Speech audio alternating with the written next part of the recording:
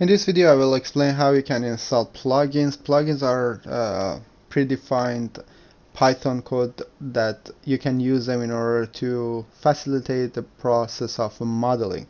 So here I have an example of AM modeler which is very helpful for simulating the additive manufacturing process. Uh, if you download it you will see a folder full of Python file in it. For example, let's go and take a look in one of them. These are the script one. I mean, I cannot take a look at it, but I hope I could find uh, some Python. Nope, I cannot, but these are all Python and uh, we cannot add them change them.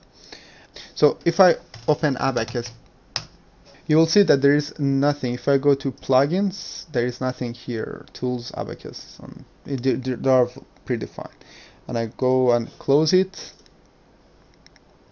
And I go to C Simulia abaqus and I type plugin in the search box.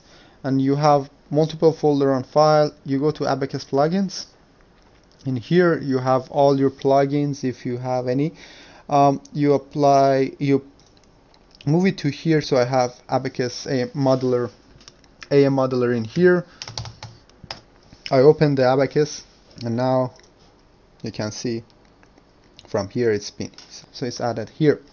So this is how we can install plugins. It's not a kind of installation. You just need to move it to the plugins folder however you need to make sure that the plugin works with the abaqus version you are having.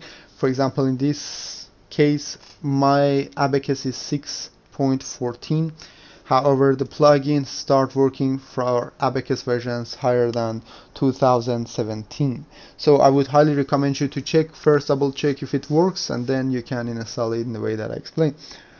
Probably next video i'm going to make another video about the plugin page and uh, uh, that's been the, written in the webs on the website. So I will explain how we can download the plugins and how we can find them